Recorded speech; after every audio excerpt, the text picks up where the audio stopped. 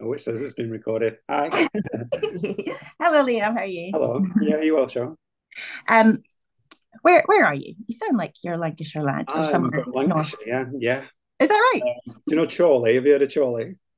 Um, I've heard of it. I'm, I don't know where it is on the map. Um, around there anyway. So near Manchester. That's what everyone from around here. So you know when you you go abroad and where you from? Oh, near Manchester. It's like yeah.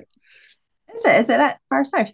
Um, I always think um people in your part of the world are just the friendliest. See if you ever get a train from like London to Scotland, personalities change round about Lancashire, Yeah. round about Well, I, I've, always said people get nicer the north and the more north they go. So Yeah, it's funny because you said that, what, about Manchester. Is, is it that far south? And it's it's it's funny talking to someone from from Scotland because you'd consider me from to be from down south, whereas I would always just naturally think that I consider myself like northern, you know. So you're quite north. Yeah, yeah. yeah, I go to like Yorkshire and a little bit further up, like Northumberland, and they're like, "Oh, where you from?" I'm like, "Oh, up north," and they're like, "No, you're from down south." Um, so it's funny. It depends where you are, I suppose, doesn't it? But Yeah, it's I funny. chat- generally, I love, I love like just just being up north, like w- from a work perspective as well. Like I always just love the chance to to. I, I was up in Scotland recently, um, in Airdrie, I think. Um, All right. Yeah. Uh-huh. and yeah, I, I don't know. There's just something, just uh, just people, just in my mind, seem just so just much more, just nicer and more, just Just more chilled out. yeah, more chilled out. That's the that's definitely how I describe it. I think it's because they're populated like the west coast of Scotland and maybe where you're from is populated by Irish people traditionally, like in the past. Yes. um, so I had no idea where you're from because um, I, I know nothing about you. Why don't you tell us about, about Um, yeah. your your life as an artist? in secret. Lancashire? Yeah, I need to put that about page on my website back back actually, but um, I kept having to edit it because, well, one, I kept getting older and I kept having to change my age. I, I think eventually I just took it off because I just I wanted to kind of rejig what I was, um, you know, what I was kind of about as an artist, I suppose, because that's something that's always changing. So Yeah. I need to get around to fixing that. But um, yeah, so about me, I mean, I, I- about me as an artist, I suppose, I've, I've um, I've been doing this full time now for about seven years. Mhm. Um, yeah, since since pretty much I, I was on that portrait artist show on Sky, and That then portrait artist show is that, that is that portrait art portrait show, artist of the year? Um, and that was pretty much the kind of you know that that stepping stone from going from a part time artist to, to full time. So um, that was a springboard, and everything kind of changed like almost overnight after that. So um, and I've just kind of ran with it ever since. But um, it, uh, it's something that I've always done. I mean, I've I've I've done it like I've I've drawn for as long as I could hold a pencil. Really, like it's just you know, it's when it's that thing that it, it, it's it's the thing I do best. It's just the thing I'm I'm known for. You know, if I go out and meet like friends of friends, they go, "Oh, are you the artist?" Like, yeah, you know, like I'm known as the artist. I guess, like. Yeah. You know, It, it's um, your, your it just becomes part of your identity. I think, in a way, it's like it's one of those weird professions where you you you're known as that thing rather than you know Mhm. yourself as a person. So It's your Uh, gift. They say your gift is the thing that you do with least amount of effort. And that's like you, just kind of your your gift. You're just Uh, I don't like that term, you know. Like, I, I, obviously, when people say it, it's, they mean it in the, the nicest way, and I understand like the kind of sentiment behind it. But I think, um, sounds like you've done no work. kind of, yeah, you know, I think it just kind of just diminishes the the the work that goes into it because I think like, um, yeah, I, I've always said like, you know, people ask me if if you can teach this kind of stuff, and I, I really do think that you it, it's something that you can be it can be taught and it can be learnt. Um, but it's just a case of putting the hours in, like anything. I think they say about what is it, ten thousand hours to become A master. a master at something. Um, and you know, I think if you do anything for long enough, you just become proficient at it. It doesn't. It's not something that just kind of happens overnight, and you're just born with it. Um, but I, I, I would say that maybe if we were going to talk about you know the, the gift, then maybe just the it's more of a kind of personality trait. I think just like um, the you know the perseverance, just to kind of just want to just hold a pencil and just just draw and do your own thing. Like that's probably something that is probably quite innate in me. You know, like even just as a small kid, I would just I would just be happy with a, a pencil in my hand and just you know on my own in a room. We used, I used to go to this little nursery and they had like um like four rooms and one would be like a playground room, another would be something something else, and then there was like an art room. And I even remember now to this day, I was like, I was always the one of the only ones in there just all day. um, so I think I think maybe that that is you know, and you know, I have a lot of patience. I think just to just to sit and just and just do it for hours and end. So I think maybe if, if, if that might be you know something that's just like inherent and maybe like a, a gift, um, so to speak. But you know, there's no real substitute for just the amount of hours that that goes into it. It's just a, it's something that that you there's, there's no shortcuts to it really. Um, I think you, you can be taught you can be taught it to a certain extent. You know, people can give you pointers, but um, really, the, there's so many. I think there's so many variables. You, you'll know this yourself, like with painting, that a lot of it is um, it's all based on like on on touch and and just um, something that you can't really like quantify. Like um, when, whenever people ask, I always kind of compare it to something like baking. You know, like so if you make like bread, for for example, like everybody knows, you, you can look up a recipe to make bread, and someone can show you how to make bread. But until you until you really know how it's meant to feel in your hands, and yeah. and and that that kind of touch aspect, then you're not really going to know whether it's right or wrong, and you need to make like what like a hundred loaves of bread before you kind of start to figure out actually right if I do X and Y, then Z. Um, yeah and painting is a very similar thing. I think it, it, it's a lot of it's down to just texture and touch, and and you know, it's impossible to say how much how much pressure to apply on this particular brushstroke. You know, you, you can't you can't put that into into a, a kind of number or you know. Um, so it's just something that you have to just dive in and learn learn for yourself and learn by doing and learn just re- repetition.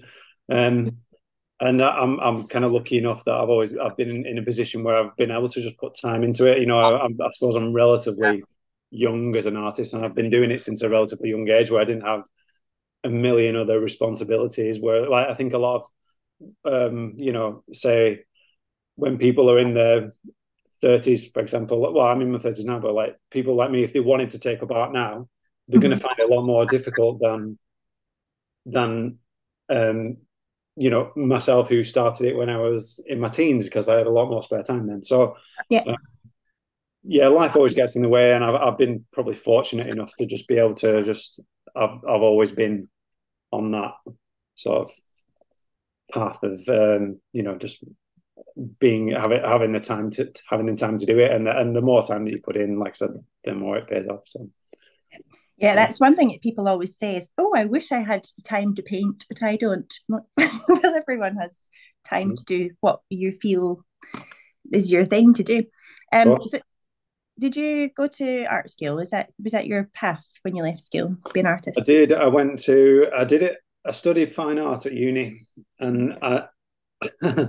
I really try my best not to give them like too much credit for, for yeah. because so like nowadays. I don't know if you know much about like fine art degrees, but like they obviously they give you the means, they give you the studio, they kind of just and then they they chuck you in a room and just say, nah, figure it out. You know, do what you want. Like there's no there's there's really no guidance like that uh, with regard to like technical skills you know there's no there's no emphasis on teaching people how to draw and paint and and do any of the the technical things anymore, unless you were going to go to something like um like the Florence Academy, for example, and, and learn the really traditional old school methods, uh, which is going to cost you you know an arm and a leg. And yeah, I wasn't in a position to do that really. So I did I did a fine art degree.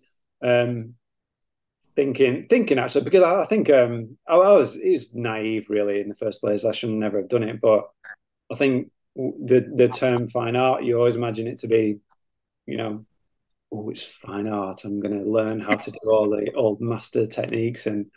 and in actual fact, it's like they put a like a dustbin in the middle of a room and draw a lot of stuff in it. It's all it's modern art basically. It's what it's what that it's it's leaning towards now, and all it's conceptual and it's um all the stuff that has merit. But I I, I always me personally, I just always wanted to just draw and paint, and and that's all I wanted to do.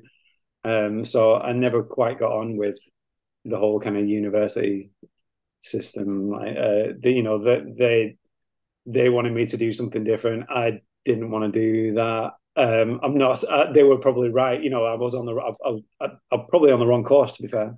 Um, so I just kind of just ambled my way through my degree and got out the hell out of there as quickly as good. And then, um, and then I would I would say from there, like that's when I learned to to paint properly, just just literally by just doing it myself. Um, so yeah, I try not to give them to uh, people. Ask me if I'm if I'm if I'm trained or I'm taught, and I probably would I would consider myself to be self-taught. To be fair, um, there's quite there can be quite a bit of shall I say snobbery in the art world about right. where you were trained, but I I didn't I, I got into art school, but I chose to go and be a nurse instead. And I'm told by people who have gone to art school that they kind of beat the creativity out of them and to the like and built them from the ground up into what they th- thought art, an artist should be, how artistic what artistic techniques should be, how to do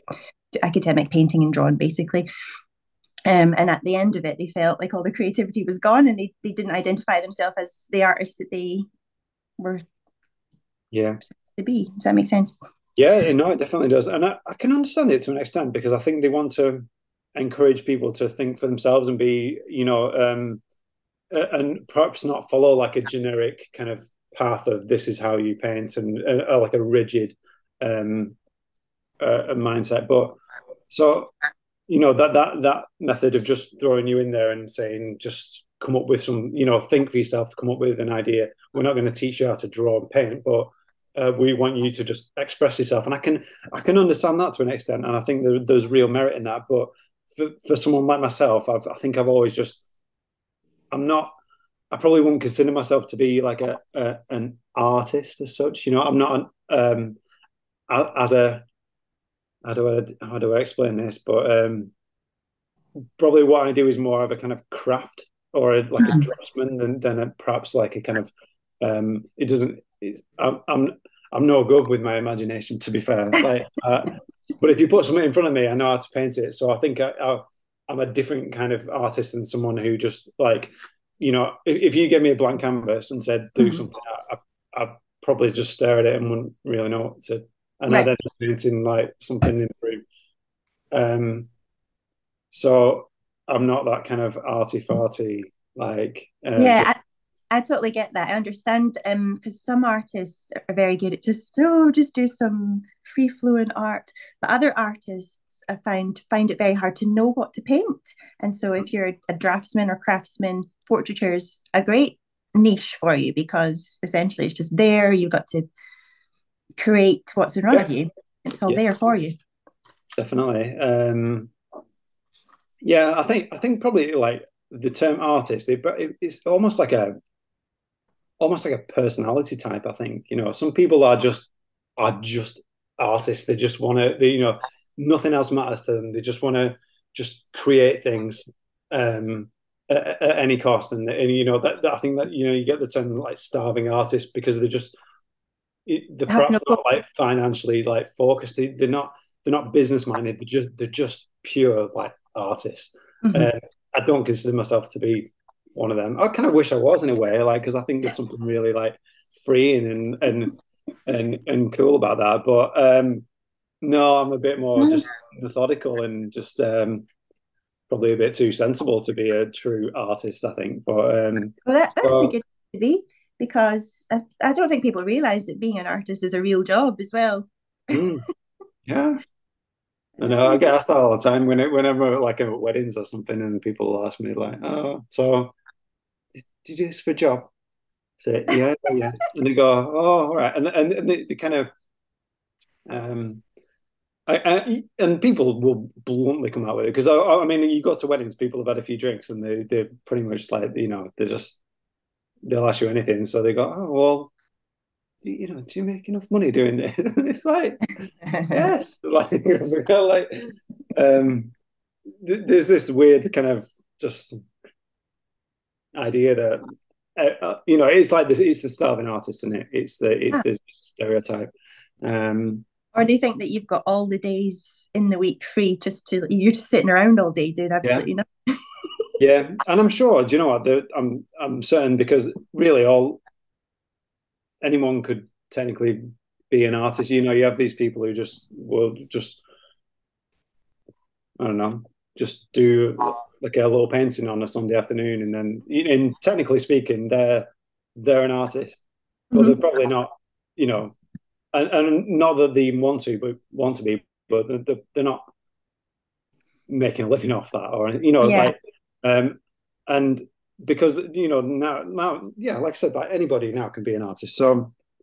um, based on that, there's probably only going to be a small percentage of that massive group that are doing it as a job, and that's you know that's just how it is. Yeah. Um, so you're a man with a business plan. That's good. Um, are you is portrait your main thing that you do then throughout the week? Like, do you do portraits or do you just yeah, do weddings? I think yeah. I suppose that's my kind of like my thing, if you will. Um, and it's it's what I've always kind of enjoyed doing. I don't know if it's what I do best. I'm not really sure, but it's the what I like about portraits is just the the, the challenge of it. You know, the, the, they're unforgiving. You know, you get you you got to get them right, otherwise. It, you know, in terms of the kind of likenesses and things like that, that's something that's quite important to me, especially like when I'm when I'm painting portraits. It's like first and foremost, I feel like it. You know, it's a given that it just has to look like them, and mm.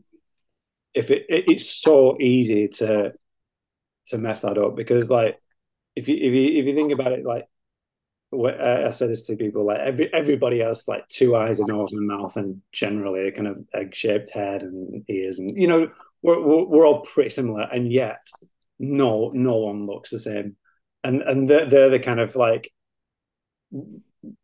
they're the fine margins that we're working with in portraiture, whereby like even even when you've got the same kind of features distributed across the face in pretty much the exact same way for everybody, and yet to have a completely different look. There's there's got to be something more than just getting eyes, nose, mouth right. So, um, yeah, I, I love how unforgiving they are. I love the the challenge of doing it.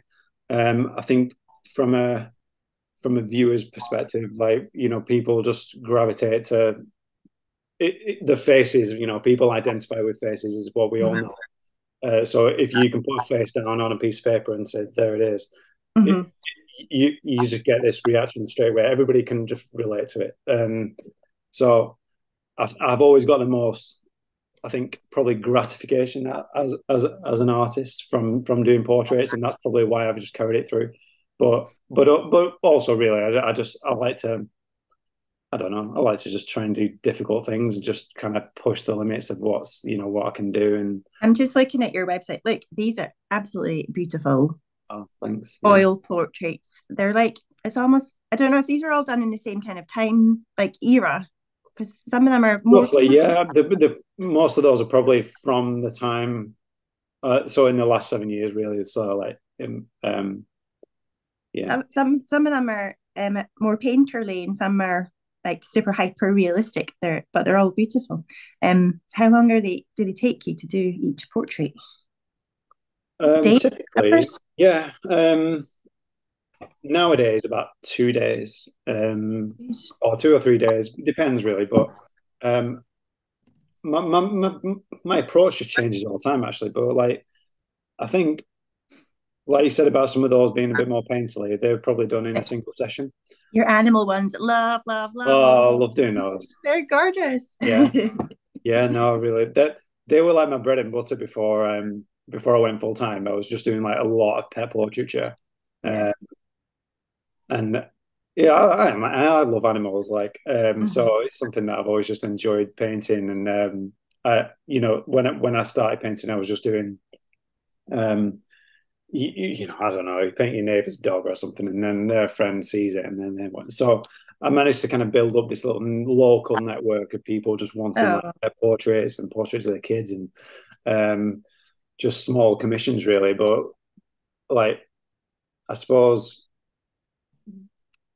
financially speaking, you, you, when you're just working for like friends and family and then friends of friends, you, you, you never like even to this day, like I don't, you know, I don't charge my, my, friends like very much at all, if anything, because I just like it's I, I don't feel comfortable doing it. So and I was never really able to make like a proper living doing just yeah. doing these like little pet portraits for like local folk. But at the same time, like it, it, it just doing it gave me like the you know the know-how to be able to build it up. So um even though it might not have paid off at first, I think like all the time, you know, as long as you're doing, you're creating, it's probably just not worth even thinking about like how much it's worth. It's just, um, it's, yeah. Um, like you've got, look at that. See the way you paint light. It's just amazing. uh, yeah, it's all about light, really. I think like um, I th- there's a, there's a quote, and I can't remember who said it, but like um, they said, "Don't paint people don't paint things, paint light. Is that right? Yeah. Well, that's that's one of them, and the other one is um, it's it's talking about the kind of um, the importance of tonal value versus color, and and and in fact, like tonal value is the the most important thing, or you you know your tonal values, and then uh, color seems to take all the credit for it because mm-hmm. the first thing people oh I love the color of that, but without without that kind of um, you know the contrast of light and dark it doesn't make any sense at all you know so um I've probably butchered that quote, but it's something to that effect anyway. So. Yeah. I've, did see in your first year of art school, did they make you paint in black and white for a whole year for that purpose? Oh, I don't know. Did they? No. Um, I've heard um, some people who've gone to art school say that in the first year they weren't allowed to use color; they had to use just black and white, just so they learned tonal value. Well, I would probably agree with that. I think that's probably good practice, actually. Like, um, I, I do, I do the occasional bit of one to one just teaching, and and I find that to be good practice because I think, um, if you can understand tonal values, then it really does help going forward with color. And and I think if you if you if you're um, just starting out, I think if you dive in with color, it just it, it just becomes too overwhelming. I, I think there's there's too many uh, variables because there's there's something weird about like the you know like just um I probably need like an entire like PowerPoint presentation to demonstrate this, but like um certain colors, even though they look like the perhaps the same kind of tonal value, let's say like mm-hmm. a, a, bright red and a bright yellow, they might on the face of it look the same, but if you were then to like tr- convert them to black and white, the yellow is actually a lot brighter and and mm. a lot lighter. Um, it's things like that that just it's based on kind of illusions and, and and I think painting in black and white is a good way to just kind of mm-hmm. understand. I'm thinking, just as you were saying that, see if you were doing a wedding and you took a picture of the scene on your phone and then converted it to black and white, you would then would you then pick up what the tonal values are and where the light is? Uh, yeah, probably. Yeah, so that's a definitely a good way of doing it. so working from a, a, color image and black and white image. What I sometimes like to do actually is, um, let's say, if I've painted something, um, I, I, would I would take a picture of it uh, of the painting and then convert that to black and white, and it just helps you kind of see those like tonal relationships um, a little bit more clearly, and then and then you can obviously kind of adjust accordingly in in your color work. So. Um, I think that's the same with any, painting anything. You, have got to give yourself a fresh look at it every time. You you know yourself like you you when you are painting something, um, your eyes become. I think they seem to just become a bit too kind of adjusted to it, and um, and then you step away from it, maybe from a distance, it looks different, or you can, well, you know, come back to it in a couple of days, has a different look. Um, so I would say a good practice for any um, you know any artist in training is just to constantly give yourself a fresh look at it. I I always like to just look at it, look at my paintings through like a just through my camera phone. Um, and what that does, it immediately just knocks your your uh, knocks back the distance from, from your eye to the painting, and just helps you just kind of see a few things differently. Or you, some artists like uh, classically, they would like look at it in a mirror, uh, yeah. or you turn it upside down just to yeah. just re- refocus your eyes. But there's there's all sorts of tips. If I paint portraits, and mm. which I'm not very good at right now, but um, sometimes you go blind when you're looking at the painting. Um, so I take a picture of it on my phone and then um, invert the image. So it's almost just like doing a mirror thing. And then you see all the errors like, oh, that nose is a bit squint or that, that, that eye's wonky. yeah, it's the worst that. Especially when you when you spend a day on something and you you look at it and you go, I'm really pleased with that, and then you turn it around in the mirror and you just like, and, and one eye's like up, up here and one's like why is oh, that? It's so weird isn't so demoralizing. But um yeah it has to be done i suppose. It's just um it's good. It's, it's good to be like self you know to critique yourself. I think that's like um first and foremost like that is a um this is the best way to learn you know you, you you're not going to learn if you're not like hard on yourself and you're not go right. No, I need to fix this. And it's, it's it won't it won't do. Um, that's something I've always been pretty okay at, really. Because um, you know uh, everybody else will just tell you it's great. So for the most part, anyway, you know, you, unless you've got someone just like honest and I know. Actually, on, on that topic, I was thinking about that recently. In wedding in the wedding painting world, nobody ever tells you that your work is rubbish. well, and it's, it, I don't think it's a good. I'm not sure if that's a good thing or not because you don't. Everyone's too scared. I was like, "Oh, that's a lovely painting." Everyone's so happy at weddings. Oh, you're so talented. Oh, that's so good. Nobody would say that's crap. no, it's great, isn't it? Uh, yeah, that's why. that's what I love about weddings. I just, I just go and get my ego stroked all weekend, and then come back to the studio. and I'm all fresh and happy and but um, I, I do. I do some self-flagellation a lot. I'm like, oh my goodness, that was so crap. Why did nobody tell me that? Like, uh, but no, who tells you as an art, as a wedding artist or as a like independent artist that your work's no good if you've not got just what do you do? It's, really hard to get perspective. Like, um, and nowadays nobody likes to be told that. You know, no one likes to be criticized, and it's just like, um, yeah, I don't know. I, I think just self critique is the only is the only way forward. But that that comes at um, that can be risky as well because I think you can. There's definitely such a thing as you know being too hard on yourself. Um, and when you look at, so you go on social media these days, and you just like like saturated with like amazing artists and mm-hmm. successful artists, and you, it's only natural to to just compare yourself to those and and compare their level to yours and and you become all sorts you know it it's yeah. a it's a dangerous um, route to go down but i think um yeah it, it, to an extent self-critique is is important but i mean you have to you have to be I think you have to be at peace at where you are in your art journey because sometimes you could be like, oh, I can't get my brain to get my hand to the level of what they're painting at or what I want, what I think I should be painting at. Just can't make it happen. But yeah. just be at peace with yeah where you're at. I think so. Um, I mean, it's. I think it's always something that the more you do it, that you, you start to see the improvement yourself, don't you? It's just. Um, mm-hmm.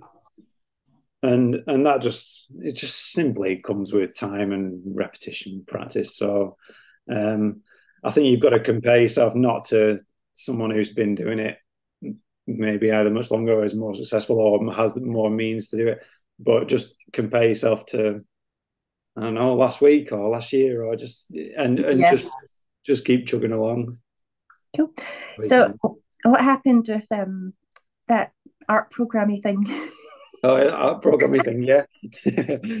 well, um I mean, it sounds dramatic to say like that you know when somebody says something's life changing, mm-hmm. and because it, it, just sounds a bit airy fairy that, but it it it it was really because I mean everything like I, I, after going on that and then it it, it broadcasting like things literally did change overnight. Like um oh, so what um, happened before you were before you went on that? You were were you work were you working another so, job? I was I was working at Tesco. How are you? Um, so I, I was doing like the early shift there. So I did. I, I, I used to start at like four in the morning, Oh, and then I worked till about lunchtime, and then I would have the afternoon to paint, and that was really the only way that I could have the hours to to paint because I, I knew that if I did the nine to five gig, Mhm. I would just not do it. I would not Mhm. like or draw in the evening. So like working at Tesco, as much as I kind of at the time begrudged it, it was like an amazing just chance for me to just you gave me that flexibility to to be able to just train as an artist, I suppose. Um, so and then, and especially doing those hours. I mean, it's brutal doing that like four four in the morning, and and that was that was my life really for a few. How many days a week was that? Was that four four Um, days? Four Five or five, I think. Um, Wow. I was technically part time. I think I did about. I think I did just short of thirty hours a week. So, um, and then on the side, I was just like doing commissions, uh, like I said about the pet Mhm. portraits, people, people, kids, and I think because because a I wasn't probably earning loads from those commissions because they were just for family and friends, um, and two, I was already kind of working more or less full time. I didn't have like I didn't have the luxury of spending ages on one particular job, so I, le- I, I kind of taught myself to to paint quite fast and, and efficiently and get stuff done in one afternoon or or um or you know however long it took. Um and that that kind of way of working really lent itself to um to the format of that of that show. Do you have you seen any or? This artist of the year in Sky Arts. yeah. Yes. Um so it's it's i guess it's like a you know there's a pretty tight deadline of just you've got four hours to paint someone's portrait and that's and as it happened that was pretty much what i was used to doing anyway Yeah. so you know a lot of people are just terrified of that little time limit where i was like Who well, were you painting? um i was painting dave myers the hairy biker Okay, yeah. Here, bye. um imelda staunton and tom courtenay Mm. So yeah, it was really good. So uh, like I was always pretty like co- like confident, you know, going into it because I knew that I could do it in that in that short space of time. It was just being able to just hold your nerve, I suppose, and just perform. um, so yeah, loved it. I enjoyed it. It was it was fun. Um, really like unique experience. I think going on like just being around all the production and cameras. It's uh, it's a it's a funny so funny. I don't know if you've ever been around that kind of thing. It, it like kind of almost like ruins the magic of like TV because you, you see you see all the, the guts and and kind of scaffolding that goes into making a TV show just kind of seem all really seamless for an hour. Uh, and when when you're like behind the scenes, you kind of see all the the the production that goes on. It's it's like it's fascinating in its own way, but it kind of just ruins TV. So I mean, it it because I think the show looks like it's quite intense, that especially that time limit and then the scrutiny by the judges. But um, I, I, it's actually dead laid back. It's it's Really? yeah, it's really chill. So uh, you get a little bit more time than you you um you think. Um, and the judges. And we- were, were you sitting chatting to your the, like the, the hairy biker people and yeah, yeah, he's a really nice bloke. Yeah. Uh, he was an artist too, actually. So he's he, he worked in like kind of um, yeah, I'm sure. I can't remember exactly, but I think he worked in like either prop design or like costume design for for um, like um theater and all, all that. So he he had like an artistic background, so he was really like interested in the um in the process and just just had a lot to a lot to say. Like I I, I love cooking too, so like it, it was good to be able to just chat to him about that too. So yeah, I couldn't really ask for a better sitter. That was like, you know, like I, found, I remember I found out in the morning by accident because they don't they're not supposed to tell you until um until they actually walk in. And then I, I saw one of the one of the producers. He had like a sheet of paper and he put it down by accident, and I saw uh, I saw it. So I had to pretend to be to be surprised. But when I found out, I was like, yes, because I was I was I was worried it'd be someone I'd never heard of. Because I mean, like they have some big names on there, and and and then they have just some maybe like lesser known celebrities, more you know, and, and perhaps more obscure. So I was a bit like, oh, I hope it's someone that I actually know and I can kind of relate to. And yeah, it definitely was. So. Oh, and what became of your painting at the end? Did they get to keep uh, He's got it. Yeah, he took it. Um, so they they pick one um, to keep of, of the of the three that they make. So I was yeah lucky enough to get that picked. Um, so and he sent me a picture of it too. So it's he's um, oh that's nice. Yeah, it's in his house. So it's pretty cool. It's it's yeah that it's a nice touch. Um, and then yeah, so um, then I was in the the following rounds um, up to the up to the final, um, and that that was when it all started to get a bit mad because I I always thought like I would. I, I imagine that I would just go on the first show, the first round, give a reasonably good account of myself, just paint something that looks like whoever it was, and then maybe I'd get a little bit of work off the back of it when it finally airs, and I could just kind of just have a few nice commissions and then go back to work afterwards. Um, and then I got I was I got through to the semis, and I was like, okay, so you know I'll get another week of TV maybe. That's that's that's cool. Um, and then got through to the final, and then at that point I was like, oh, hang on, I could actually like maybe even go and win this. So um, uh, I didn't, but oh. Uh, but it, no, it was it was such a good experience. Like, and uh, it it probably came at exactly the right time. But I suppose in you're always like in hindsight, um, because I think in the end, what really cost me, like from just maybe winning it, was just just a, a simply a lack of experience, just with commissions. And uh, up until that point, I'd always just been. It had been a case of, oh, you want a commission? Okay, send me a photo and I'll paint this photo and there you go. Like I'd never had any experience of of meeting a sitter, um, and then kind of uh, composing like the shot myself, mm-hmm. and and then painting it and to you know for yeah. So I was just I was just totally inexperienced. I was out of my depth in that sense. Whereas I did well in the live shows because by live shows, I mean like the kind of you know where where they have the the studio.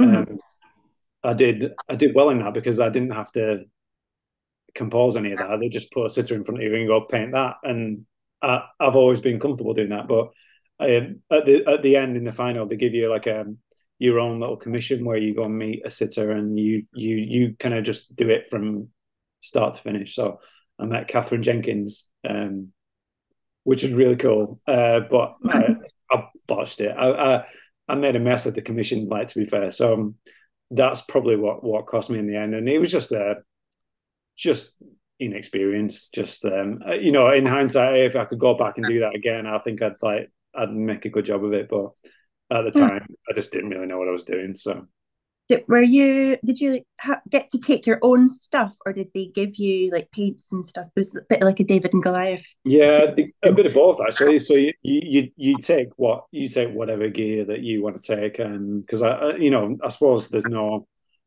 um set equipment for artists so everyone likes to use their own type of brushes paints canvases um but they, they did give me a little set of paints and brushes, which is quite cool. So you used to get one of those. I think just a, in case of emergencies, I suppose. Just um, um, but no, they look after you. They um, they give you all the kind of equipment that you need. I think they give you.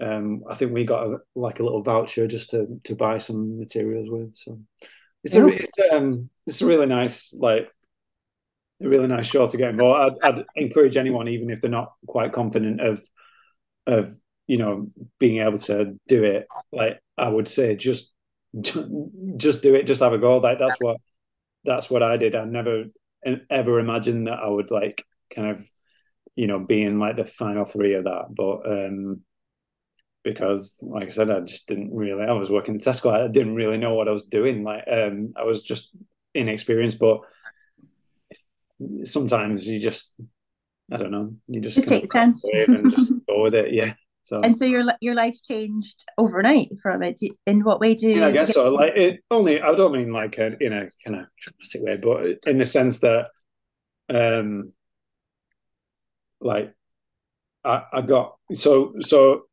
the it was filmed in like 2016 in like the summer, so everything kind of mm-hmm. just and then I think it only broadcasted in the the following year around the around the same time. So there was almost like a year in between.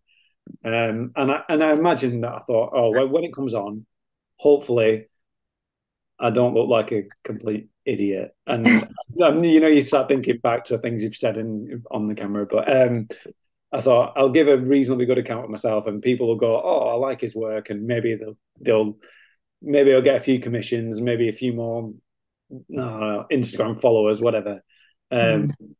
And uh, I, and I took a few months off. I guess I took like a three month break from Tesco at the time, um, thinking, all right, well, that'll give me enough time to just work through whatever work I get off the back of that, um, and we'll we'll just see what happens from there. So the the first show, and then like that night I just like just email after email after email just just oh we we uh, you know commissions basically um I thought I was like oh right this is this is good a little a little more than I thought it would be but we'll we'll see yeah. um and then you start kind of just testing the water with like pricing and um just seeing because that's something that I've always really struggled with um knowing how to value yourself but anyway um and then I went to work the next morning um, and my phone's still just going off, just email after email. And then um, my my mate, my friend who I work with, he he was like asking, you know, he was like, "Oh, so you're getting a bit of work off?" And and and then my phone would go off again and again, just all all morning. And he and, and I remember it because he, he looked at me and he goes, he was like, he said, "Oh, you're you're done, you're done here." Like he's like, "That's it." Like you you know, um, and I was like, no, no, this will die off like you know in a couple of days, and it just it just didn't, it just didn't start, and then and then it was on again the week after, same thing happened again, mm. and then so uh, yeah, I just handed my notice in, and that was that. Wow, and your commissions just keep that, just keep coming then. Your commissions they just keep yeah. coming. Yeah, yeah, and you know, like funnily enough, like which and it still baffles me, but like even to this day, like still um, not obviously as, as, as frequent, but um, still to this day, the work still comes in from that. Um, because nowadays, like it's great because everything's on demand. You know, people can just um, people. You know, I could, I could stream it on the TV now if if I wanted to.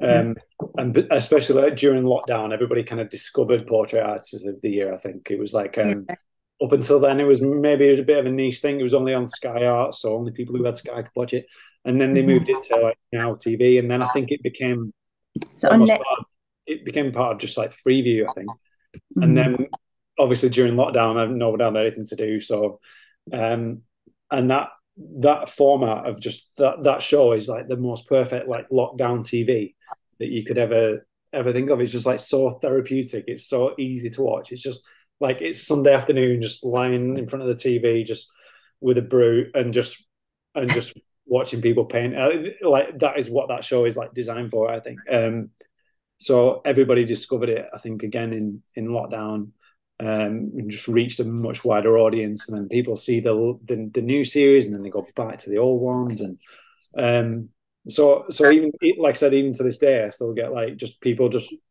discovering it, um, which is so it's like the gift that keeps on giving. Really, it's um, I'm I'm very very lucky to to have had that um, experience and yeah. Cool. How are you getting on with weddings then? Ah, good. Yeah, that was a bit of a that's that's come out of nowhere. That like it's really weird. Like, did did you get married yourself this year? Mm-hmm. Oh, congratulations! Yeah, I did. Um, yeah, we got married in June, so we were actually due to get married in like um 2020 and then we all know what happened then. So, like, um, yeah, the world ended. So, um, yeah, we we we had to like postpone it twice. Um, so, and then and then you know, life just kind of takes over. We bought a house. Um, um, it, it just kind of got put on the back burner. So, um, and then we we were going. We had a holiday booked in June um, this year. We were going to Greece. And I think a few months before, and we just kind of joked about it and said, "Oh, maybe we should just go and do it while we're there." So you got married in Greece. so we did, yeah, just the two of us. It was like it was amazing, yeah. So um, we'd we'd gone from like having this like big wedding planned um, to just literally the two of us, like no family, no friends, like barely anybody knew about it. Um, so yeah, it was nice. Um, and is your wife is she an artist as well?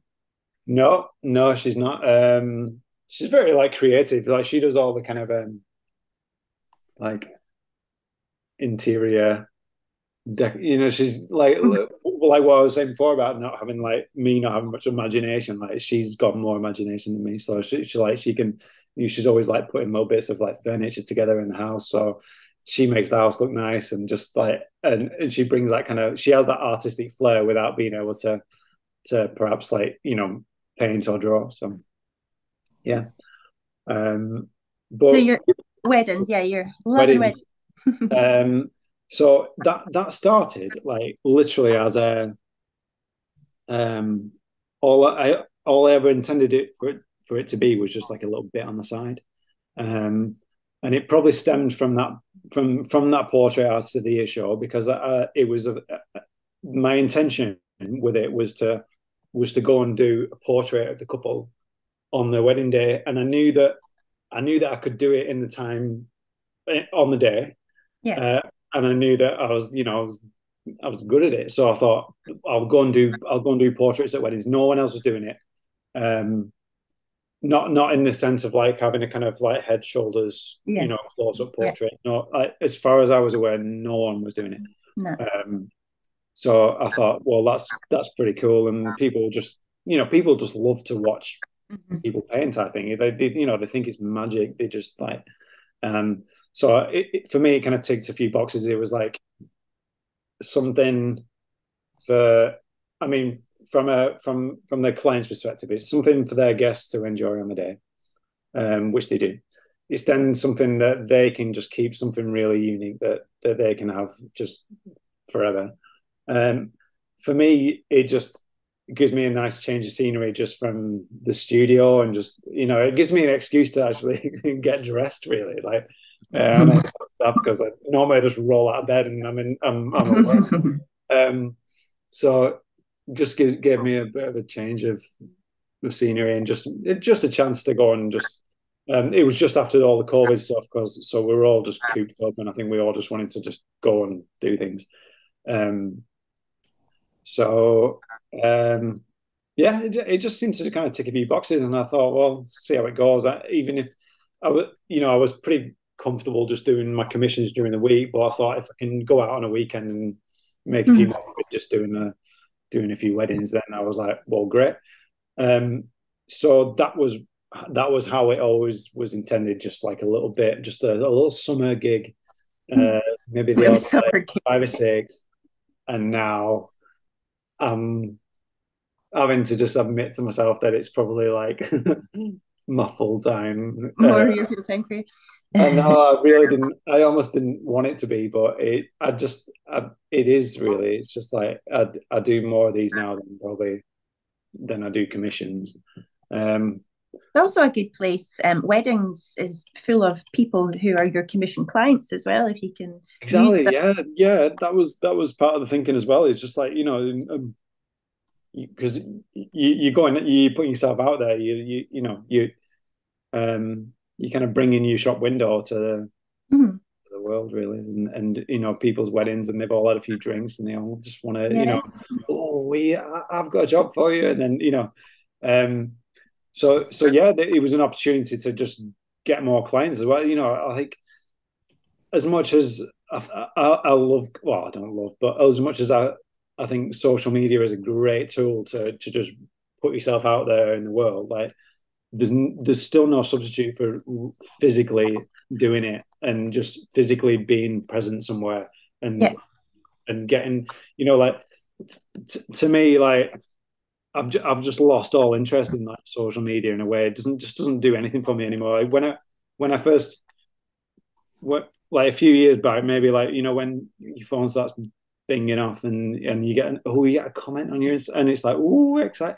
I, I I feel almost like nothing from that anymore. Just like I, I just lost I've just lost all enthusiasm for like social media. And whereas like now you go I go to weddings and people come over and they go like wow and you're like there's no like substitute for that that that that kind of like in-person reaction. You just can't you mm-hmm. can't can't beat it. Like it That's means it. more to me than like any kind of just comment online. It just just you know just being there and being present. So um but but yeah, like even like even with all that, like I said, I, I still just never really. I always had it in mind that it would just be my side gig, and for me, it it, it is just like a means to an end. Like as uh, I don't know how do I put this. Like I got sick of doing commissions um, because I'll, some of them are great and some of them um, are really just enjoyable, but for the most part, I don't know. You might feel the same. They just become like vanity projects for people, and and they always want to just have their input. No one can just like nowadays. I do commissions and I'll paint something and I finish it and I'm happy with it. It's it's like I'm happy with it, and you submit it, and it just oh, will you just will you just do this? Will you just do that? um, or like, will you just um, you know make my skin a bit smoother? Okay, I'll do that. All right, okay, so go back to him with it again. Oh, okay, yeah, great. Will you just um, um, make my skin tone a bit uh, light or dark? You know, just change my skin tone. All right, okay, done it. Oh, it looks a bit um, it looks a bit patchy now. It's like, yeah, because it's had about six coats because you've just like thrown it back at me like a dozen times. Like, so I, I, that's not that's not um you know like that's not everyone but it just feels like it's just um people just can't resist just having their own little um input on something so i feel like my kind of like the more commissions i do my, my kind of artistic freedom has just been kind of slowly just so it's funny for wedding paintings i don't know about you I, I find that people don't want anything changed on their wedding painting because I always say to them, yeah. right, you can have anything changed while I'm here. I've got the paint out. Uh, yeah. It won't offend me. Just tell me. I can change anything. I'm like, oh, maybe it's because they're drunk. oh no. Maybe yeah. maybe one one or two persons saying, okay, you just change this, but maybe they've said that the day after or yeah. When I've I mean, yeah, I, I just feel like you have a little bit more control over it, in my opinion. Just um, something that they, they, they want they want just what you don't I think the the best like clients are the ones where they respect the kind of process of of you're an artist and this is your work and that's what they're paying for. It's not not what they imagine in their head.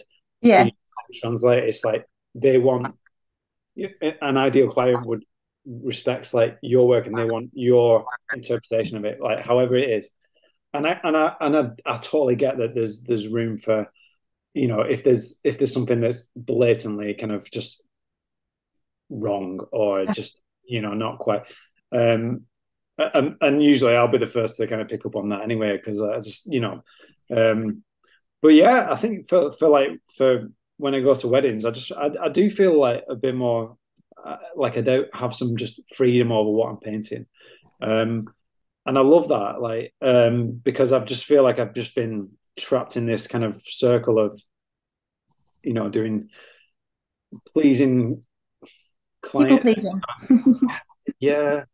And sometimes you just need to just kind of break loose and just be like be an artist and and for me i mean even like doing these weddings is a chance for me to kind of break away from doing the commission work and in theory give me more flexibility in the studio just to be able to do the work that I want. Um, that was that was what I've always had in mind. So uh, when I'm when I'm doing this, but like with anything, it's like now I find myself just doing weddings all the time and then not having any time to spend in the studio. So it's like it's just like a vicious circle of like. um, but I'm I'm pretty much like on top of everything now. So like I've I've got a couple more, I've, I've maybe like a handful more for the rest of the year, and then I'm I'm I'll have a few months then of just literally like playtime in the studio. I've got no commissions, no like no weddings, no and and no kind of like bills to worry about because like doing the weddings has given me that kind of um you know that financial security which is a great thing to have as a, as an artist because mm-hmm. as a, as a creator you're always perhaps like waiting for your next job to come in and yeah. you, you, don't quite know when it's going to happen and as a result i think we're quite conservative or i am anyway i'm quite like conservative with with how much i spend and and like mm.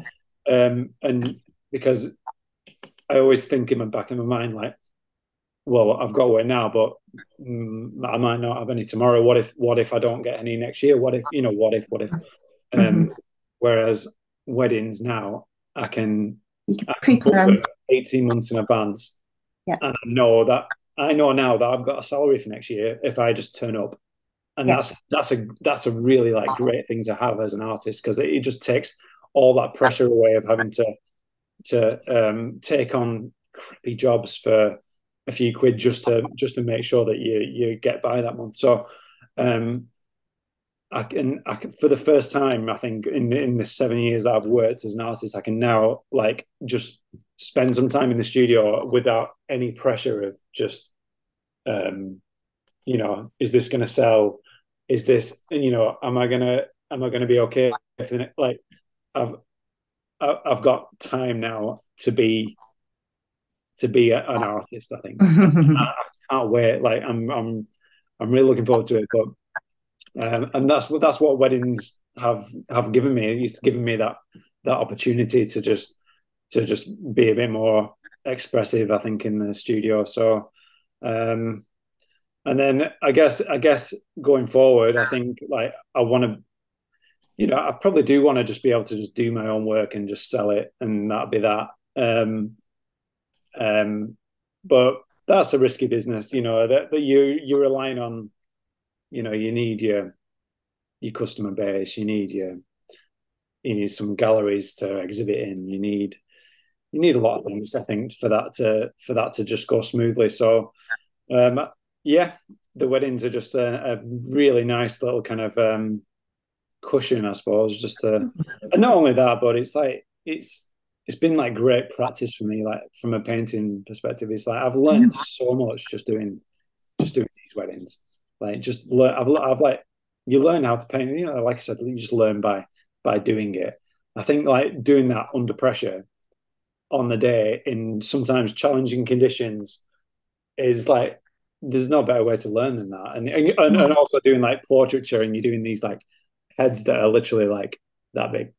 And you got to yeah, achieve some. You got to try and achieve some sort of likeness through that, and that's like it's. T- I mean, you yeah, you'll know yourself, won't you? Like, um, how long have you been doing weddings for? Weddings I've been doing for three years. Yeah. Um. Different, yeah. I just like I'm just looking at your portrait, your um, wedding oh. gallery. So I see that you do like scenes and also the portrait cell. Yeah, I think I've been asked to do mainly scenes. So you're yeah. right, small tiny faces. Get your small brush out. Yeah. I was working in acrylic mostly at the start, and that's a nightmare because it dries too quickly. And like trying to get on with acrylics at all, man. Yeah, to do tiny facial details and it's already dry, and you're trying to fix something, and I don't know how I ever it did that. in a different color to how mm. you apply it, and that to me is just like I just find myself just overworking them because I'm just constantly just, and then you end up, they all kind of wrinkle up, and I don't know. I just I've never quite got on with that with that medium. Um, there's some that do it really well, like like you know Steph Stephanie, and she, mm-hmm. she works in acrylics, and she just makes it look so easy, and it's like yeah.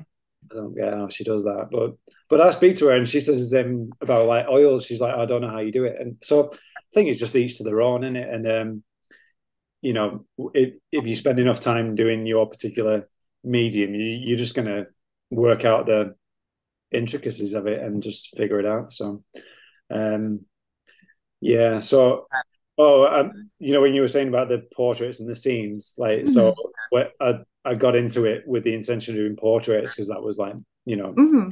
natural. And then started getting asked to do the scenes and, um, in some ways, I think that makes much more sense because it's like um than, than having a portrait because the people want like you know yeah painting of their wedding it's not just you know a portrait of them from a from a photo so um yeah the scenes actually I do more of them now than anything else, and I prefer to do that. Um, um, and also, I think that the um, the guests at the wedding kind of maybe appreciate that more because like, oh, yes. you paint me in the background. yeah, exactly. Yeah, well, they can get a little bit involved, can't they? So, uh-huh. um, like I said, it, it, it, ticks a few boxes doing like painting at weddings because it's just something fun for the guests. But, um, where you know, when all said and done, like, and those paintings like this is when i when i started enjoying it for me because like up until up until there was a there was a point where um i was doing them and i thought i was thinking what am i doing? Like am i just doing this just for like for, for a few quid? And I, am i really enjoying it? I'm not i'm not sure. Um i thought is the, I, th- I actually thought to myself this is just gimmicky this. Like um that that was what i was thinking at the time. Um, and then somebody, uh, I presented one to somebody, and she got all emotional, and she said, and she said, and she goes, um, oh, you know what? Um, this is going to be like in my like family for years, and she's like, I'll oh. probably like end up passing this down to like my like kids or grand, and I. And I, I never considered it that way before, but like you know, they do last forever. Like they're well, they're oil paintings, and you, you can kind of imagine them like going forward, like in another whatever, like yeah. 50 years. And and having that kind of like really just sentimental, like yeah, as much as it's a, a, a bit of a, a, bit of fun on the day, like like so, you know, like in another 50 years, I think that was such a nice thing to look back on, such a special thing to have. And and it was it was literally that was like a kind of turning point for me because I was like, oh, oh yeah, like actually, like this is a nice thing to to have and to to be able to to to do. So um, uh, yeah. I started to enjoy it after that. You're absolutely right. Um, I think you you get this realization when you start to look at um, wedding paintings of old. Do you know, like the ancient ones? The yeah. You ever, you ever looked at some of them? Yeah. And they're different types of scenes, crowd scenes or bridal getting ready kind of scenes. Yeah. Um, and you're like, somebody's painted that. Like an artist has actually attended on the day to take the pictures and sketchbook images whatever and then and then go and paint that. So that was somebody's proper wedding painting and here it is today. But i think i think um there are two types of wedding painters. Now correct me if i'm wrong but i think you said the word gimmicky and um, i think there is I don't want to offend anyone. Yeah, I think there's two, two, I think there's two types of wedding painters. I think there's the bride who wants just the gimmicky, who just wants a painter to come and do the whole show up on my day and paint, entertain my guests and paint a scene and just give me a paint at the end of the day. Um, and there's some artists who are very good who may that may be their thing. They may just want to be like on a day, here you go, here's painting. And then there's other brides who look at the painting as a portrait like what you do yourself in a portrait that starts at the wedding and it's it's an heirloom. That's my theory. I think there's two types of client, not not painters. I think there's two types of client. I totally agree. Yeah, um, and I, it always makes me a bit sad sometimes nowadays when I when I go to weddings and you just feel like you're just a bit of a just there yeah. to just kind of impress people and and um, you know I'll I'm happy to do that. You pay me, I'll be there and I'll do whatever you want. Like, but um, I think it becomes obvious that the clients that it means the most to them, and they're paying for the the paying for the painting and not the painter on the yeah. day. If that yeah. kind of makes sense. Um, and I guess there's no right or wrong with that, but like it's it's nicer, isn't it? To, I think to when you know for just feels a bit more special when you're painting for someone who obviously means a lot to them, and it's like yeah. it, the the it's the the ta- it's the taking away of the painting afterwards is is what is what they want, and rather than just something to like I've been to weddings and the bride and groom haven't even looked at it on the day; they just disappear, and that's that. And it's like, oh, have you had that? I've had that as well. Oh, yeah. Like, the bride didn't even say hello. Like she looked me in the eye and just walked past. But this was yeah. like a, maybe a big wedding, and there's lots of different types of vendors there. Um, then you, you, you, leave the painting at the end. I'm like, what's happened to my painting? Is it just going in the bin because all she wanted yeah. was something coming? Oh yeah, definitely. Yeah, I've been there, and and it just feels a bit like, but you know, that's it's different strokes for different folks, but it's mm. nice when they really like pay paying interest. Like I, I always like it when they come over on the day and just like they can't wait to have a look at it, even though it's not finished. And like as much as I'd rather not show anyone when it's incomplete, like I really like appreciate that they take an interest and they want to they want to see how it's developing. And ninety nine percent of of like couples do like you know do obviously like show an interest and they're invested in in in the in the work. Um, you just get the old one, don't you? I suppose where it's just like, and, and, and it probably it's the usual like huge weddings because, and and sometimes you make it it. Um, I don't like to like throw shade on people's weddings, but it's just like sometimes yeah. I now prefer like now that I've had that experience of going to weddings and I do a lot of them. Like for me now, the small the the the the low key, just the just small intimate weddings, like they're nicer. So much nicer to me than than the big grand affairs, which I'm not saying they are, but they can feel sometimes just a bit superficial and just a bit kind of mm-hmm. like it's just oh look at all these things I've got to impress my guests, and it, I don't know. Um, I think we all feel the same. I look at all these lovely places that you've been to. Like, there's castle. What's where's that? What's that castle? That's Peckforton Castle. That's in Cheshire. yeah, it's a cool place. I was there. I've been there a few times this year. Um, yeah, I get around. Like um, when I think when I first started doing this, because you know, when you'll notice it's like quite a niche thing. So it's not there wasn't that many of us doing it. There was only like, mm. as far as I was aware, there was like a handful like I could name. And even now, I'm sure there's a lot more, but even even now, I don't know that many people doing it. And and because it's quite a niche thing, you just have to kind of be prepared to to go where the hmm. work is and go where the demand is. It's not like it's not like you know, for every town there's an X amount of photographers because that everyone needs. Yeah. You know, no one needs a, a live wedding painter. So uh, before before there was more artists, Liam, did, did, did y'all were y'all friends, all the wedding artists? Because like maybe seven years ago when y'all started out, were y'all did y'all know each other? I, I don't know. The first the, the first person I knew of was Stephanie. Mm-hmm. Um, and to my knowledge, like she was like the only one that was like that you knew about making any kind of uh, headway with it. And she was just like almost had like a corner of the market. She had like um, you know, especially like with Asian weddings, and she Asian just just like just have snapped all those up, and and I, I, I owe like so much to her because like she gave me, um, I, am pretty sure she just gave me all her like secondhand kind of work. You know, she was like that busy that she was just passing me clients left, right, and center saying, I can't make this date. Can you like? And I was going. I mean, she's based down south, so I was going to London like mm-hmm. quite often, um, just kind of picking up on her like you know secondhand work effectively.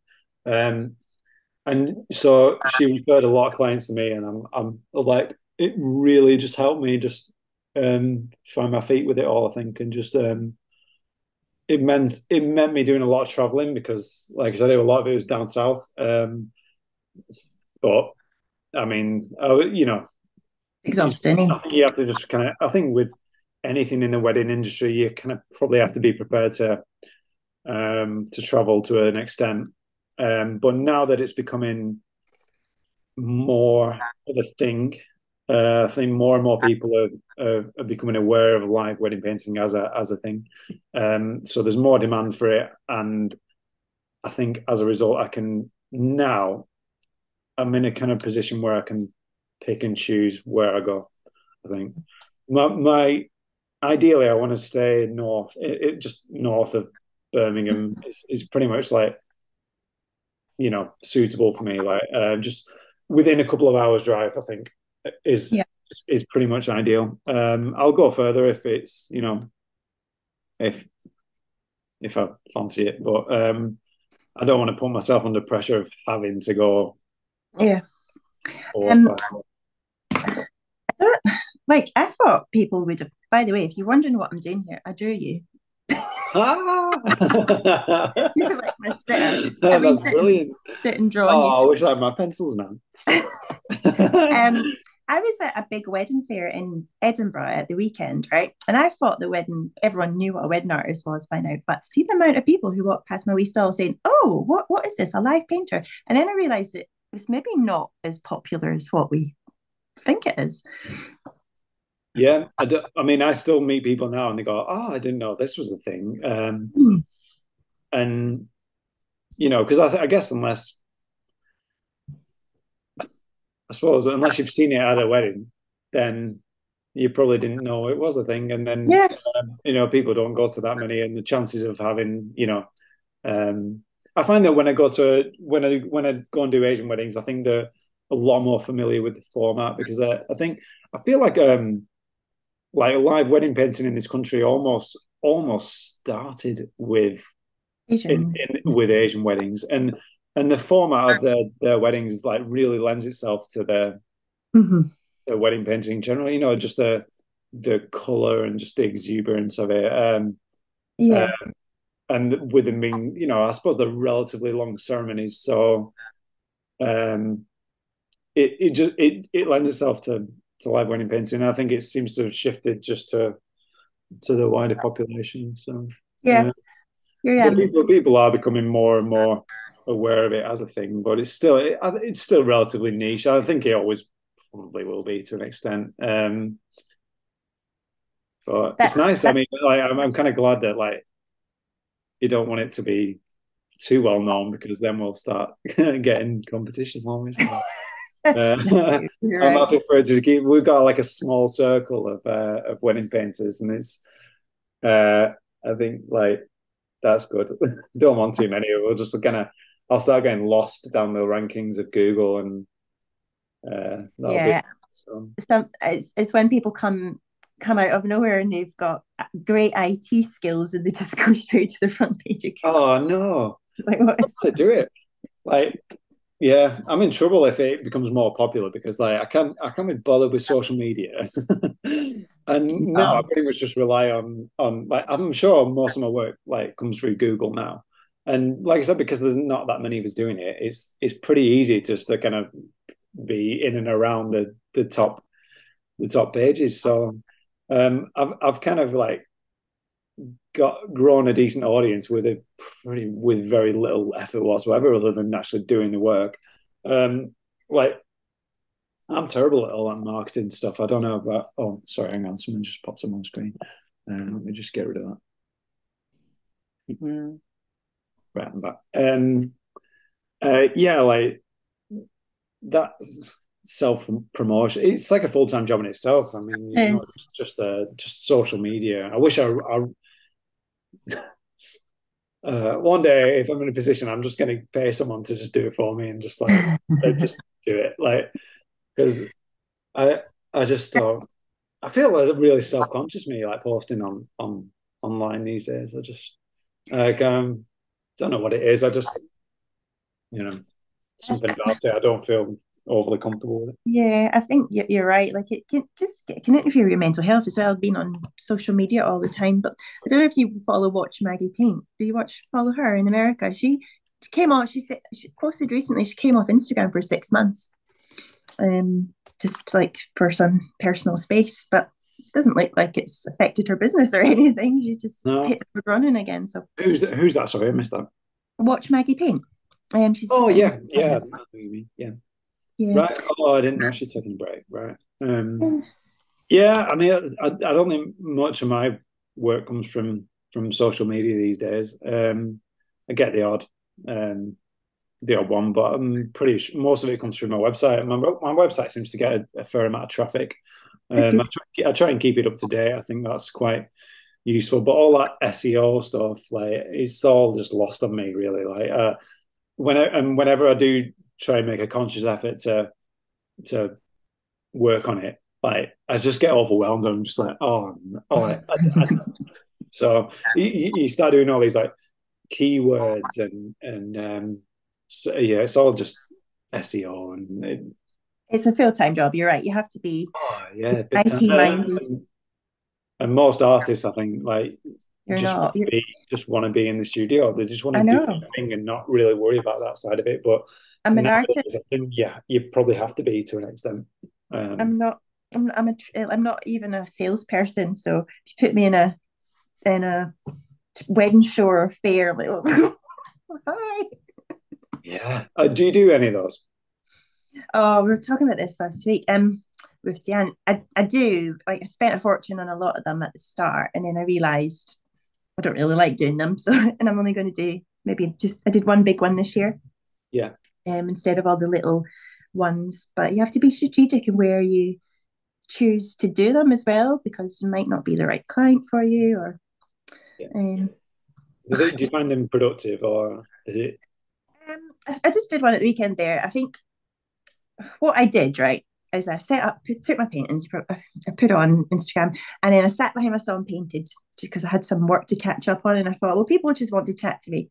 And now coming away from it, yeah, I did. I took some names and addresses and dates and emailed them out. What I should have done, right? If I was to do it again, I should have stood at the front of my stall and said, Hi, I'm a live wedding painter. Have you heard of live wedding painting? Let me tell you all about live wedding painting. Would you like live wedding painter? and totally just chatted to people and yeah, got a bit more passionate about it. But I was just a wee bit run down at the weekend and I was feeling, oh, I just want to sit here and people want to come. Does that make sense? oh yeah. I know the feeling, yeah. Um, I could have been more charismatic. It's just like, and uh, it probably comes with the time of year. I think everyone in the wedding industry is so like burnt out now. Uh, mm-hmm. It's getting to that kind of like we're busy seasons, I guess, kind of over. And everyone I speak to at weddings is just kind of like running on fumes and and they're like just they're just sort of ready for a break. Well, you know, like it's it's a demanding um job anyway. You know, whatever whatever field that you're in, like whether you're you know speak to photographers, videographers, they're just you know where you have to be on it like all day. It's, mm. it's tough work. It's um it's rewarding and it's like it's very like satisfying. Like I I love coming home and I feel like I've done a proper day's work when I've a wedding, and I don't really get that so much when I'm in the studio because it just feels a bit too comfortable and easy. Whereas like weddings do feel like intense and pressure, mm. just uncomfortable at times. Like, um, but that it takes its toll. Like, you know, it's demanding. Sometimes I just think, oh, you know, we just some some days we just we just can't. um, so no, I don't blame you for that. I've got. I think I'm doing. A, I've never done a wedding show and I've got one in February. Just I thought they offered me like a decent kind of rate for it, and I thought mm. I'll just do it. I'll try it. It's in the it's in the Lake District. I like it around there, and mm. thought if I can grab a few clients in that area, then happy days. But yeah. Uh, I'll see. Think, um, the only thing I would do differently from my, my stall is put a sign up saying "I paint live at your wedding" because I think people thought that I was just selling art or or doing like a portrait as a gift or something, and then they're like, "Oh, so you oh you paint live?" I'm like, "Yeah, is that not clear?" Oh no, it's actually right. not not clear because I don't have a sign that says Yeah, no, that makes sense, I suppose, because I think people just expect it to be done from from photos and stuff, don't they, these days? So, all right, I'll bear that in mind. I'll make sure when I uh, a blackboard, when a I do my live. Um, I think I was gonna. I was planning on maybe taking my easel and just painting while I was there, but yeah, a blackboard sign or something says, I, I will come to your wedding or whatever. yeah, yeah. Okay. Uh, Is there um I feel like I've, I've um taken a lot of your time, right? Is there anything you want to It's done about? really quick, isn't it? What time is it? Is it like quarter have we been over an hour now? An hour and a half, yeah. It's. It's good. oh, fly. it's really nice to be able to chat to someone like like-minded because it's like I feel like we have this kind of um this kind of as artists we, we have this like joint empathy for especially as wedding artists we like understand the yeah. struggles like i come home and just run and run to my wife and i'm like oh this happened and you know as sympathetic as she is like she just doesn't get it you know because like how why why or how should she um yeah. so it's really nice to like um I, I keep in touch with like stephanie and um and just uh, like send messages every now and again, and just like ranting and rah, like oh, that's nice. Um, but it's nice. I think it's good that you know you need you need a bit of an outlet, so it's nice to be able to um, yeah, it's been it's been really really good to just chat to someone who probably understands. Uh, when you when you go to a wedding, do you have do you, do you have the same um I don't know what the word is when you go to a wedding at the start of the wedding you're really excited you're like oh this is great it's gonna be a new challenge it's so everything's fresh and then at the end of the wedding you're like get me out of here. Um definitely get me out of here like at the end. Um I I kind of like it starts like this for me and then like um it goes up and then I'm I'm, I'm always a bit nervous at first because I'm just like I turn up and I'm you you've had a bit of a drive and you just feel a bit like um you know like not quite sure what you're going to expect when you get there especially you know a new venue you're thinking what's it going to how's it going to work um so once I'm set up and I know what I'm painting and I know I've got time to do it and I get my background in because that's a, that's normally what I do. I, I kind of paint mm-hmm. like almost like the backdrop to the to the scene, uh, and I know once I've got that in, I can kind of just like relax a little bit, and then I would take a few pictures from that point because that's when of, of the action. So like of the bride and groom, for example, for example, some of the guests, mm-hmm. um, and then that's a really pressured bit, like because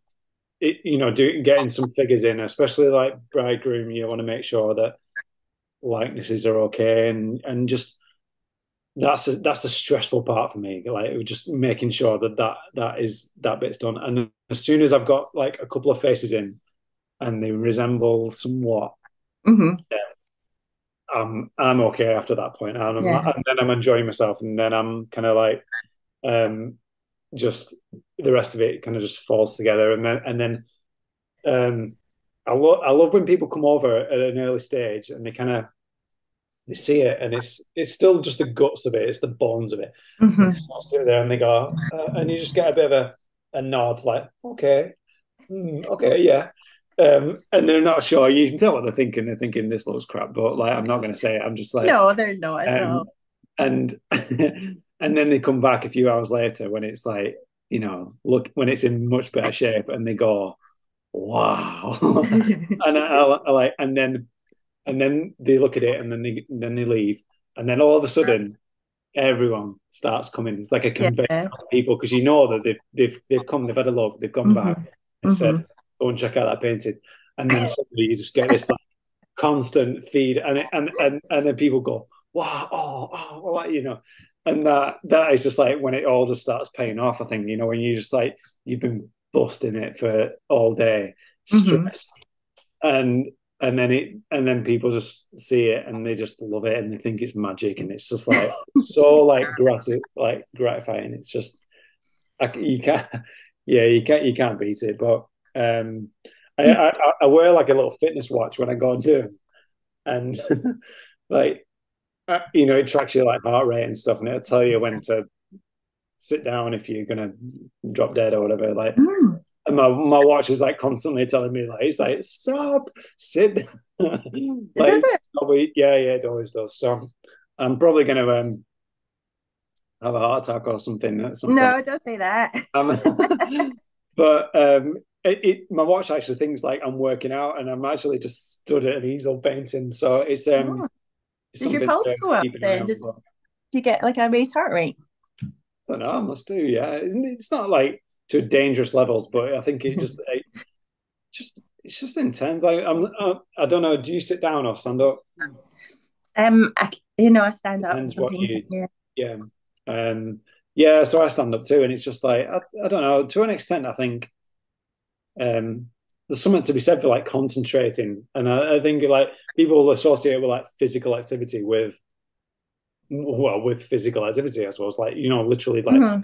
doing things. Whereas like um, you'd be surprised how much like I think you even just like the kind of um, the energy you burn just from just from mm. concentrating. I think uh, that's something to be said for that. So um, and then you you know yourself like how exhausted you are when you get home and you just like you know it's just the the draining, the long days and the demanding and it's um but but yeah, yeah. absolutely love it and it's um I'll do it for a little while longer yet. I think um I guess going forward, no kids at the moment, but it's in the pipeline. So mm-hmm. I guess like I don't really want to be out all weekend every weekend. Yeah, we have kids, so um, that's something to consider. But for now, it's like a really nice kind of means of just um, giving myself some studio time and um, once I find that balance between not having to do because I'm still I'm still at a stage where I'm probably doing journeys that I don't want to do. Mm-hmm. Um, but you you just iron all that out as you go along, don't you? you know, it's like any any kind of business venture that you you just start off just saying yes to everything, and then yeah. once you once you start to find your feet, you you you can call the shots a bit a bit more. So um, I'm at that stage now where I think I'm I'm, I'm pretty like comfortable, and I can say I can turn work down, I can take work on, and just um, you know, it it yeah, it's it can serve my kind of needs as an artist rather than yeah.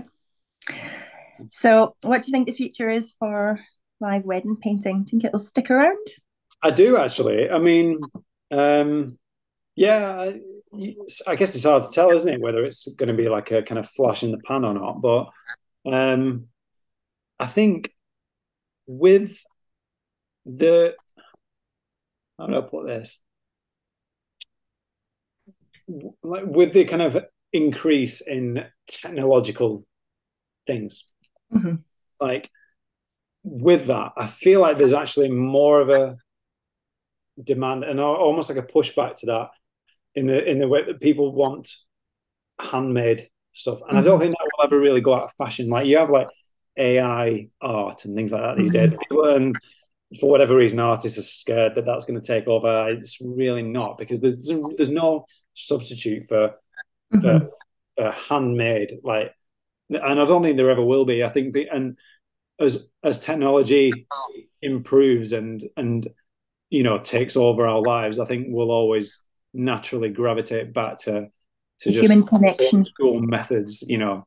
Um, and I would I would argue that painting has never been so like you know popular in a way. Um, maybe for that reason, I don't know, but maybe also just because of social media and just the exposure that you can, you know, it's easy to have a, you've got your own shop window to the world now.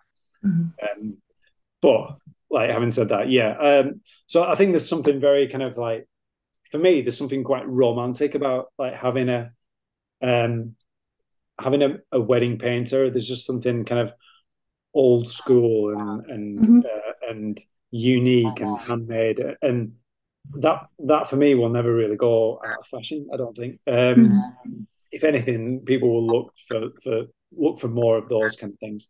Mm-hmm. Um, so yeah, I would like to think that it won't go out of fashion anytime soon. Yay! Uh, I guess you never really know, but um, that that's my take on it anyway. Like, um, you know, if if oil painting was ever was going to go out of fashion, I think it would have already had done by now, given the amount of things that you know you uh-huh. can you can pick an iPad up and do a painting now, just like print it out. But no, there's there's there's always something to be said for just like raw materials. I think, um, and hopefully that won't I'm optimistic anyway. We'll never put us out of a job. But good, good. um, and what maybe advice would you give to anyone who's starting out? Paint the light. just practice, just practice. do, just just do, and don't think. Just just create. Just find time, even if it's 15, 20 minutes a day. Sketch, draw. Just just just do something for even a short time just just draw like even if it, you know everyone's got a piece of paper and a pencil like even if you just sat in front of the tv like look around the room a vase or something just i don't know paint that paint or draw that rather um just just um you learn by doing it and there's no don't expect shortcuts. Don't expect it to be easy. Um don't um, you know we all want instant instant gratification these days and that's that's we're conditioned to want that because of social media and and and everything just being at our fingertips. And some things just take time and just take practice and there's no shortcuts and there's no uh, there's a the shortcuts in the sense that now you can go on YouTube and you can or Instagram or whatever, and there's a million videos on how mm-hmm. to, you know, that will help you and inspire you. Yeah. Uh, but all of the work is is is in just the the doing and handling of of um of the paint and don't be don't be disheartened you know like there's even you know everyone goes like everyone has failed attempts like even the most successful like artists will probably just have days where they just this isn't working. Um and and that's okay too. And push yourself do test yourself you know don't just stay in your comfort zone put you go I, i'm not like I'd probably be hypocritical to say like go out of your comfort zone because I've I've always probably like played it relatively safe, but in an artistic sense, like I like to paint and draw challenging things, and I think there's no better practice than that. So, um, and don't compare yourself to uh, others that have been doing it for much longer because mm-hmm. that is just a, a completely, you know, just unrealistic mm-hmm. um, narrative that you know you should be at a certain level at a certain time. Just mm-hmm. focus on your own personal growth. I think if you're improving, then that's really all that all yeah. all that you can do. Um, and yeah, don't be afraid to. I could I could go on and on. You know, just, just do it. Like I, I say, but um, yeah, don't be afraid uh, to paint to paint for the slush pile, as I call it. Like I'm sure you've got a slush pile stuff oh, that yeah. you ends up in the bin. I'm like, oh no, all these canvases. So well, oh well.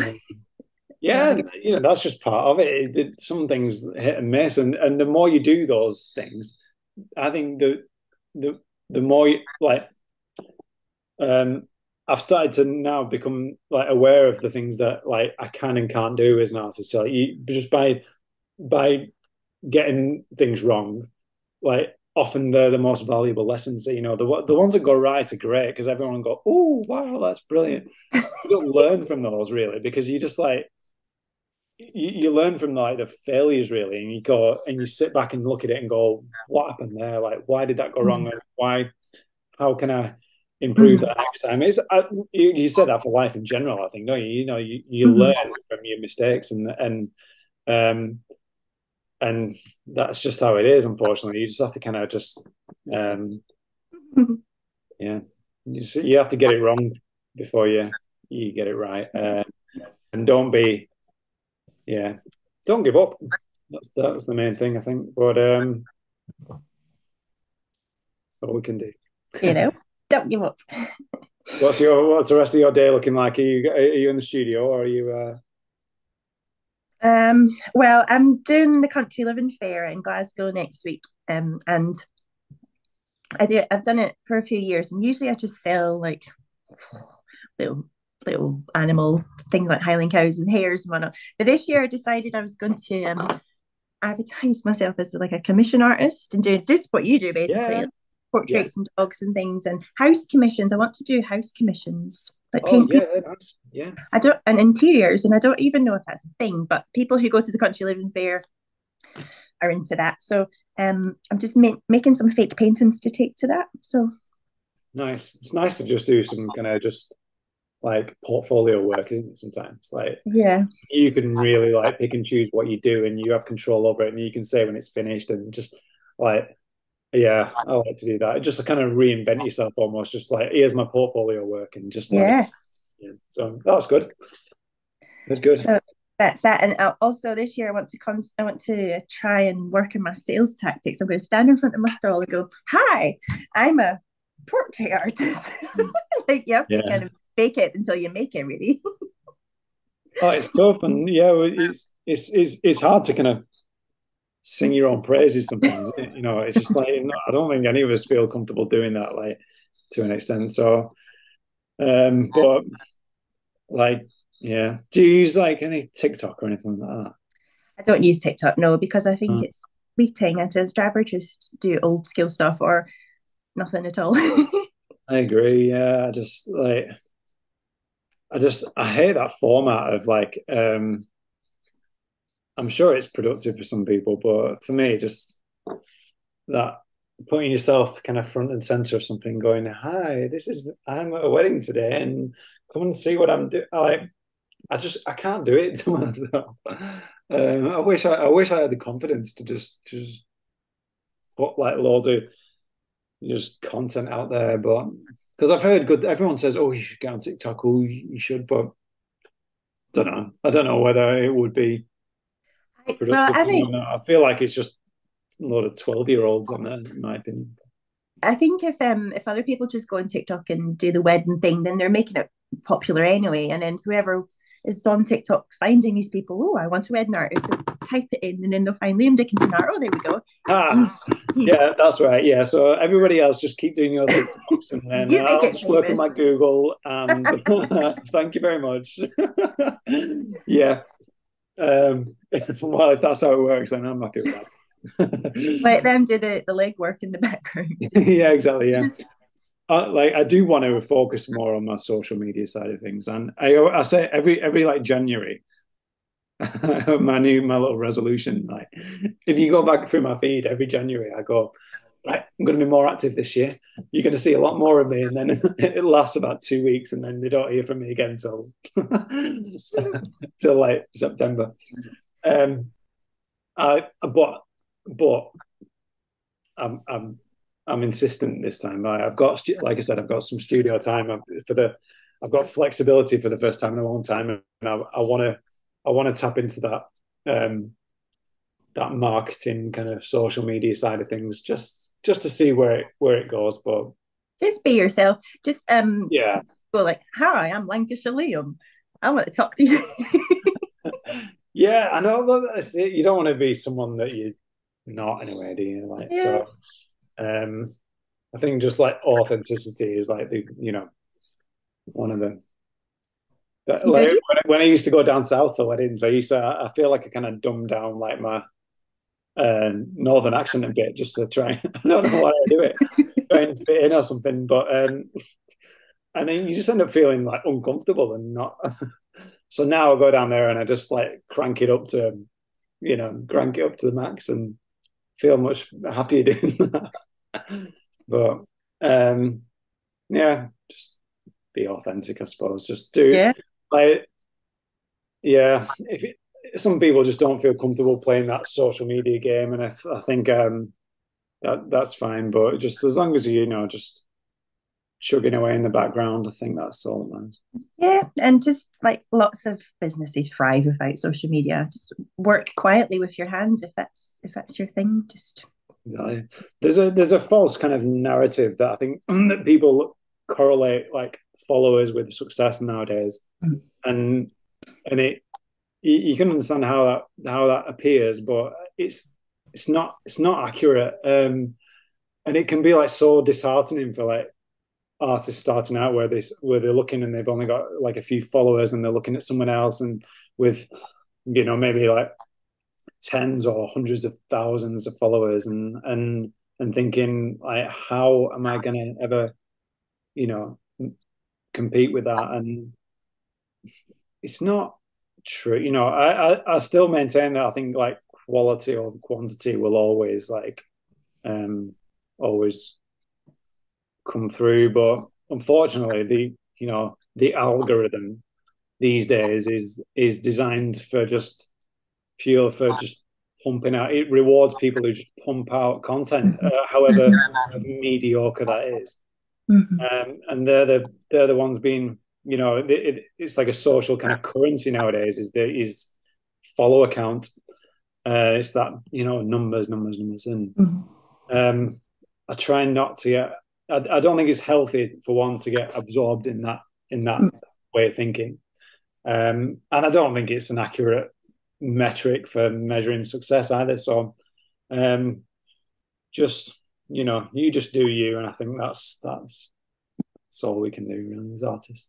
Yep. Totally like. Oh, okay. so thank you so much for chatting to us today. Oh, to thank you. It's been a pleasure. it has, yeah. No, I've enjoyed it. Thank you. Um, thanks for thanks for hosting. When does this when does it typically go out, you know? Or... Um I post it I post it now, I post it. Like Okay, cool. I post it today. Yeah. Does the video co- content go on or is it just is it audio? Hang on, I'll, I'll press stop. Oh, um, oh, yeah. Bye.